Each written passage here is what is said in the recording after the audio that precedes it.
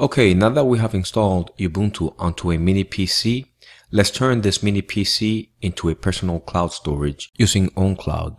I've done many video tutorials on installing OwnCloud onto Ubuntu and Raspberry Pi. I'm just going to copy and paste the commands from my website. I'm going to briefly go through them. If you want to know in detail what they do, you can read them from my website. The link is in the description box below. So go ahead and navigate to uh, my website. Here, scroll down a little bit and let's install Apache 2 HTTP server.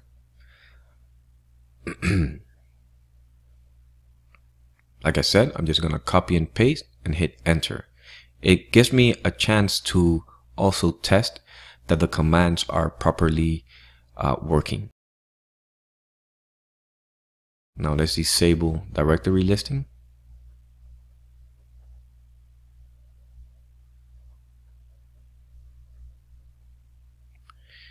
And whenever the uh, server reboots, let's make it so it can stop and restart. Now let's install Maria uh, database server. This is the only database that we're going to be working with.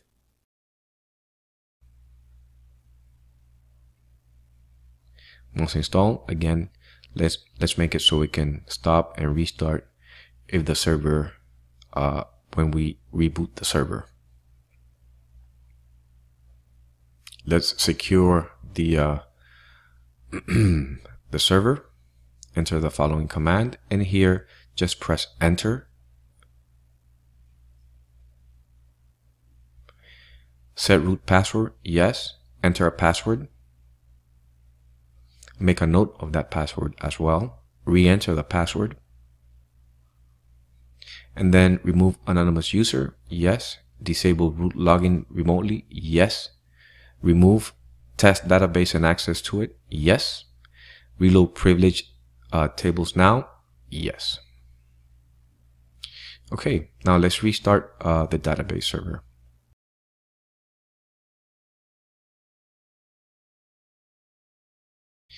Okay, now uh, let's enter the following command to download and upgrade and install PHP 7.1.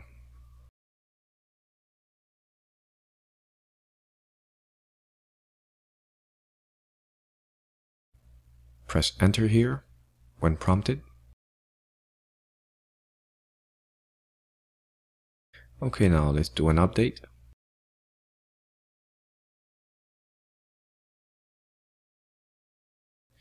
And install PHP 7.1 and related modules.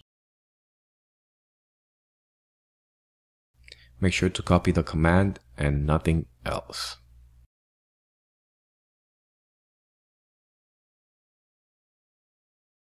Now enter the following command and let's edit uh, the PHP INI.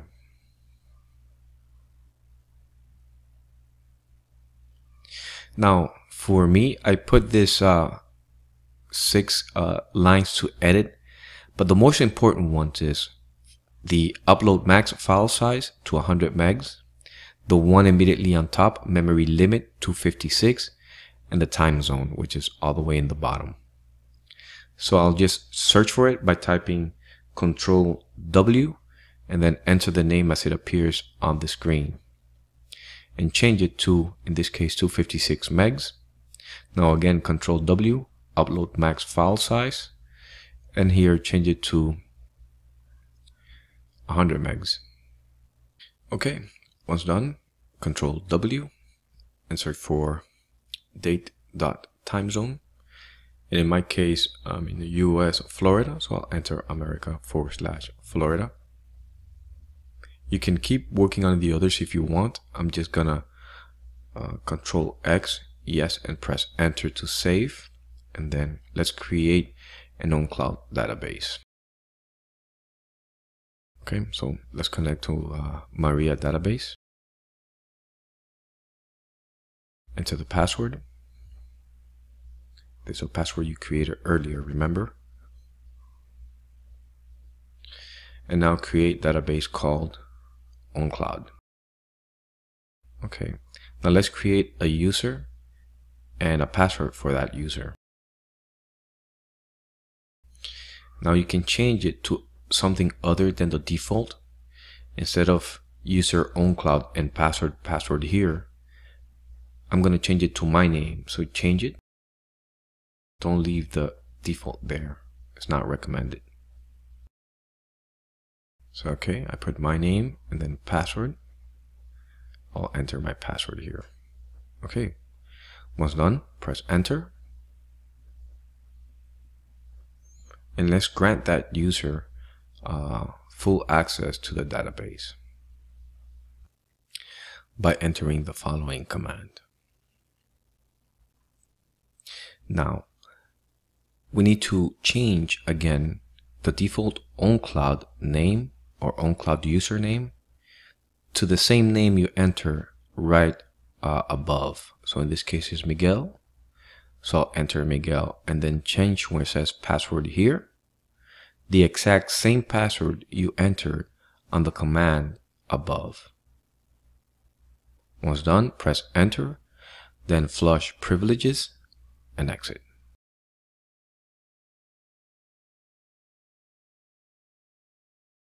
Okay, I'll clear the screen here and install the latest version of ownCloud. At the time of this video, 10.0.8 is the latest version. In case of a new release, from the command, just change the 10.0.8 to the latest version.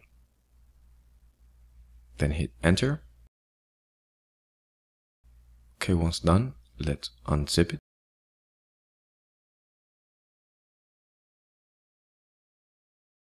Let's move ownCloud to the HTML directory. By mistake, I copied the command and left the S out.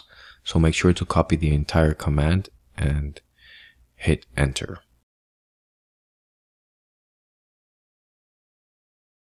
Now let's set permissions to the uh, HTML ownCloud directory by entering the following commands. These commands will allow us to edit, modify, or execute anything inside of that directory.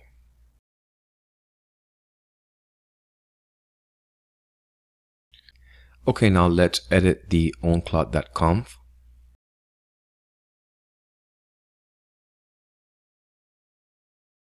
Okay, now copy and paste this uh, block of text where it says avoiderrors.com or www.avoiderrors.com you can edit it to something other than that. For example, the IP address or the LAN IP address of the uh, ownCloud server, or you can change it to whatever you want. This is not critical. So I'll just copy and paste it. Just because you haven't modified the, the uh, server name or server alias that doesn't mean you won't be able to connect. You still are going to be able to connect. Once done, press Ctrl X, then Y, and enter to save. Now let's en enable ownCloud and rewrite module. I'll do this a little fast. Every time you enter a command, it's going to ask you to restart, but enter all the commands or execute all the commands, I'm sorry. And at the very end, then restart. Okay, upon restart, we will need to access our ownCloud instance from the LAN. First, we'll need the IP address of our server. So type ifconfig and hit enter.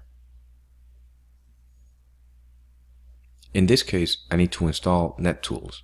So enter the following command, apt install NetTools. Keep in mind that if you need to access your ownCloud from the WAN or outside of your network, you would first need access to it from the LAN. It's critical. If you don't have access to it from the LAN, you'll never have access to it from the WAN. Our IP address is 10.0.0.163. Write it down or make a note of it. Once done, we can access our ownCloud instance um, from another computer inside of the same network or from the same Ubuntu PC you have OwnCloud installed. I'm using a different computer in the network and I'll enter 10.0.0.163, the IP address, forward slash OwnCloud and hit enter. Once here, create an admin account. Now, underneath of that, where it says database user, database password, database name, we will enter what we created earlier in our um, when we were configuring our database. Remember? So it'll be Miguel, the password for that user, and ownCloud, which is our database. Then hit finish setup.